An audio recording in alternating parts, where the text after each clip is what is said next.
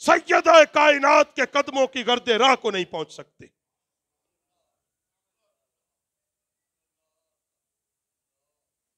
सैयद कायनात की सीरत तो किरदार क्या है? मैं हर साल जुमे में बात करता हूँ और मैं अक्सर यह कहता हूँ, जब मेरी माँ, मेरी बहन, मेरी बेटी फौत होती है, हम ऐलान करते हैं कि जनाब कोई गैर महरम ना आए इसके जनाजे। इसको कब्र में उतारना है, गैर महरम पीछे हट जाएँ। मुँह देखना है, गैर महरम पीछे हट जाएँ। अरे, मरने के बाद तुझे जिस शरीयत का ख्याल आया, जब वो ज़िंदा थी, फिर क्यों नहीं आया? फिर क्यों नहीं आया? जब वो तेरे शादी के अंदर तेरी बेटी सर से दुबट्टा खींच कर नाच रही थी, नाचने वाली पैसों से लाए, उसको कंजरी कहता है, जब खुद तू अपनी बेटी को नचाए, फिर क्या है? है किसी के पास इसका जवाब? ये तलख बातें ज़रूर है, मगर दर्द दिल ये है। एक नाचने वाली पे हम अबाशों की तरह पैसे फेंके।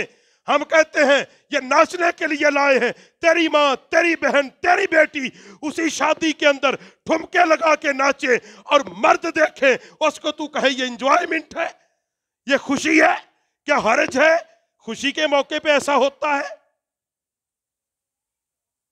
जिस कौम की बेटियाँ नाच नाच कर अपने ब्याह करवाएँगी, उन बेटियों की कोख से कभी अब्दुल कादर पैदा नहीं होंगे। उन माओ की गोद से कभी मोइनुद्दीन पैदा नहीं होगा। उन माओ की गोद से कभी शाह वलीउल्लाह पैदा नहीं होगा। उन माओ की गोद से अरे पैदा होना है। उन माओ से पूछ कि मेरे नबी अली सलाम जंग में गए। बड़ी तवज्जो से, हज़रत हंसा पाक, मेरे नबी की सियाबिया, जंग में कितने शहीद हुए? पाँच बेटे। कितने? कितने? लोगों ने कहा, हज़रत हंसा से पाँच बेटे शहीद हो गए क्या महसूस करती है? कहा, कोई महसूस नहीं करती। मैं फख्र करती हूँ, मेरी गोद से अल्लाह ने ऐसे बेटे दिए हैं कि जिन बेटों ने इस्लाम पर कुर्बानी दी है। हज़रत हंसा और मेरे नबी ने पुकार के कहा, फरमाया, अगर दुनिया के अंदर किसी ने जन्नती और देखनी हो, वह जनाबी हंसा को देख ले कि जिसने अपने जिगर के टुकड़े इस्लाम को देकर शिकवा नहीं किया, मैं मोहम्मद भी राज़ी हूँ, मोहम्मद का खुदा भी राज़ी है। इस्लाम फिर ऐसे आता है, इस्लाम ऐसे बेटे माँगता है तुमसे, ऐसी औरतें माँगता है इस्लाम तुमसे। आपकी यूनिवर्सिटियों में क्या होता है? आपके कॉलेज में क्या होता है? क्या हम मौलवी, हम जानते नहीं? आप समझते मौलवी की बात है? फ़र्क कितना है, तुम्हारी आँखों पे तालीम की पट्टी अंग्रेज़ ने बाँध दी है। और वो पट्टी के आगे वो इतनी खूबसूरत पट्टी बांधी है, उस पट्टी से जो नज़र गुजरती है, वहाँ रंगीन दुनिया नज़र आती है।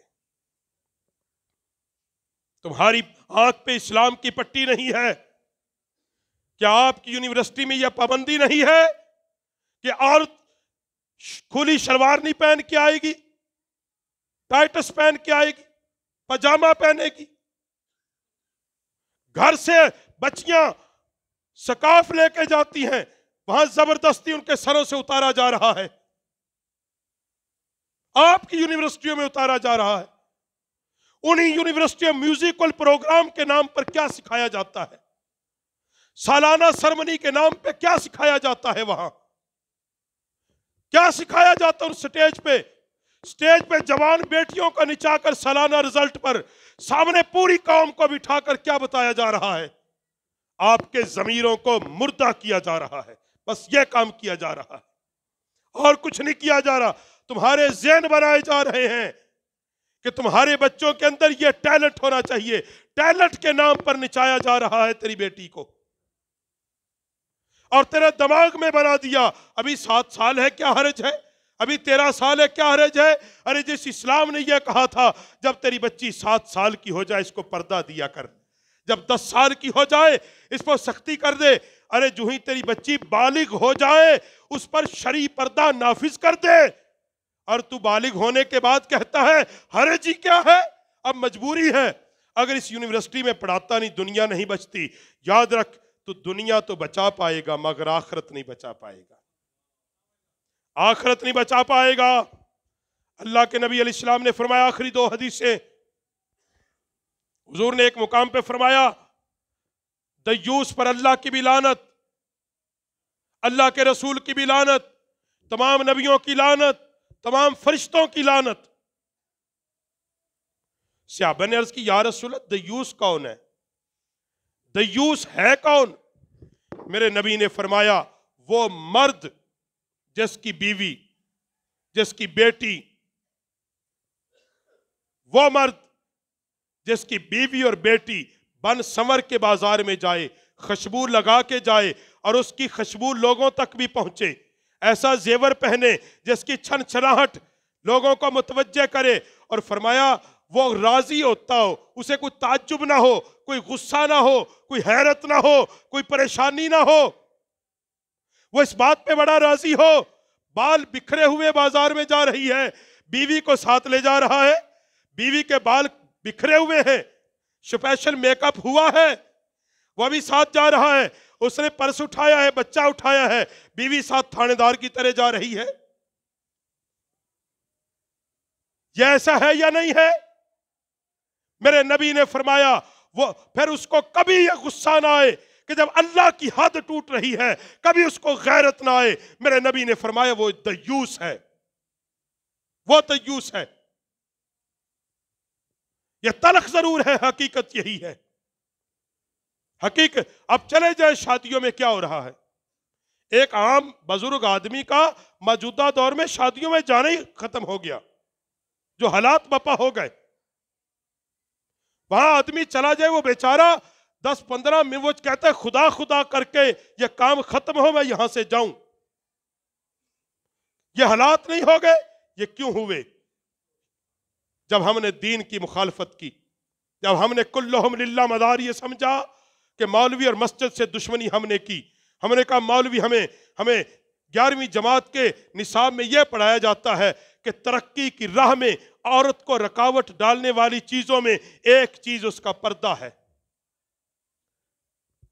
हाँ जी, यह पढ़ाया जाता है आपके स्कूलों में कि तरक्की की राह में रकावट पर्दा करता है, मगर याद रखो, ये ये इस्लाम के दुश्मन का कानून हो सकता है, मगर मेरे रसूल का दीन ये कहता है, औरत की उतनी ही ज़्यादा तरक्की है जितनी ज़्यादा वो पर्दे में रहेगी।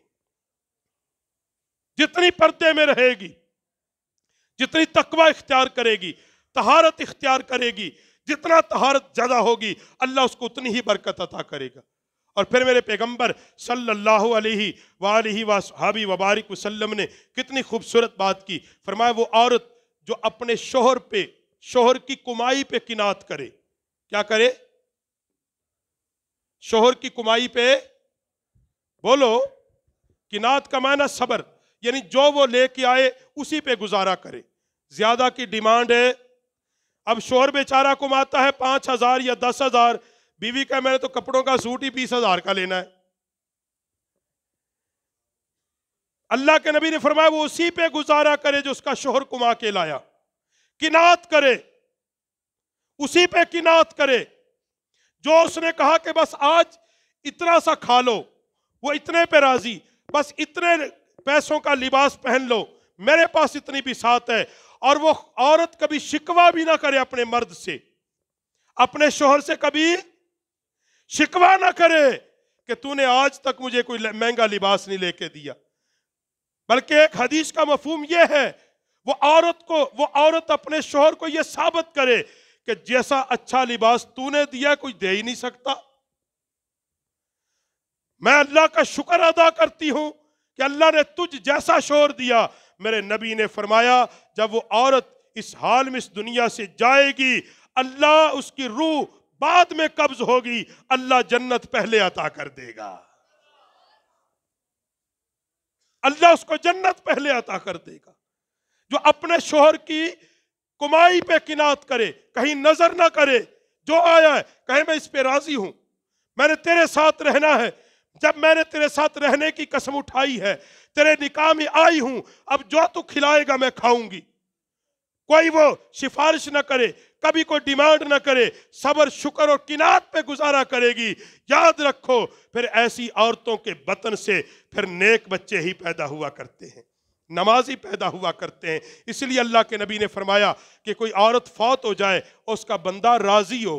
राज़ी का माना यह है कि बंदा का इसने वाक्य मेरी खिदमत का यार हक अदा कर दिया। वाकई ये ये मेरी बीवी थी, इसने सारी ज़िंदगी मुझे तंग नहीं किया। वाक्यतन ये मेरी बीवी थी, इसने सारी ज़िंदगी मेरी खिदमतगारी की हद कर दी। यह है रजा। मेरे अल्लाह के नबी ने फरमाया, उसके मरने पर बंदा इस तरह राज़ी हो जाए। फरमाया, वो समझ लो, वो औरत जन्नती है। वो औरत वो औरत जन्नती है। इसलिए मेरी माएँ, बहनें, बेटियाँ भी सुन रही हैं। वह भी इस पे तवज्जो करें और अपने शोहर की कुमाई पे सब्र किनात करने वाली बन जाएँ और मर्दों से भी हम कहेंगे कि तुम भी जालिम न बनो, तुम भी औरतों को वो हकूक अता कर दो जो हकूक मदीने के ताजदार ने दिए हैं। वो हकूक अता करो जो रसूल मुअज्जम ने औरतों को दे दिए हैं, जो दीन मुस्तफ़ी ने दे दिए हैं। अल्लाह रब्बुल आलमीन हमें सबको, हमारी बेटियों को, हमारी बीवियों को, सैयदा खातून जन्नत की चादर ततहीर के सदक़े में अल्लाह उनको पर्दा अता फरमाए। आमीन, बिजाहिन नबील करीम